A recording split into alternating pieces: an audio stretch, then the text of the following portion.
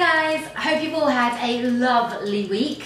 Now this week's recipe is something very easy. It's good for you. It's one of my favourite dips. I'm going to be making guacamole. Holy guacamole. For that I have two um, large ripe Hass avocados. They have to be ripe, okay? So yeah, when you fill them, they have to feel nice and soft on the outside. And if they're kind of um, more browny colour, then that's fine. So I've got those, I've peeled and destoned those. A few other ingredients I have chopped up tomatoes. I've got some finely chopped onion. I'm using red onion. You can use white if you want. Um, some coriander or cilantro, about tablespoons worth. And I've got some jalapeno and some garlic. And an all important lime, which again is nice and ripe. Squeeze that to start, I'm just going to cut the avocados into chunks because we're going to mash this all up actually anyway in a minute. So just cut them into chunks and we're going to put these all into a big bowl. I'm going to squeeze in now half a lime juice. A nice big juicy one. I'm going to use one lime in total. Give these all a, basically a big stir around, making sure that the avocado is covered completely in the lime. Just gonna add a pinch of salt, maybe like a quarter of a teaspoon is probably enough. And I also like to put in um, just a teeny bit of cayenne pepper. Okay, so just a little bit. There we go. Cayenne pepper, and I'll put some normal pepper in. There we go. Now I'm just gonna mash these all together with a fork, or if you have a potato peeler, that would also be cool.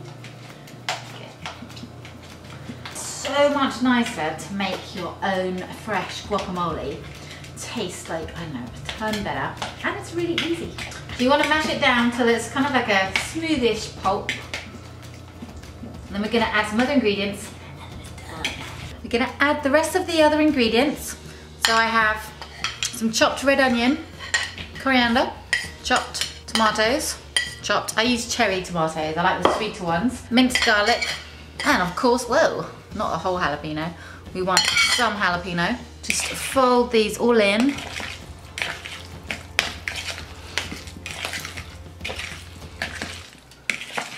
Squeeze of lime at the end.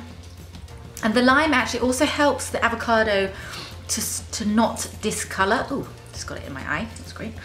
Uh, basically, otherwise the, the, avocado will start to go brown, a bit like a banana. So just pop last bit of um, lime juice. And I'm just gonna leave this now out to kind of rest for about maybe, I don't know, half an hour or so. Make sure it's all room temperature. And that is it.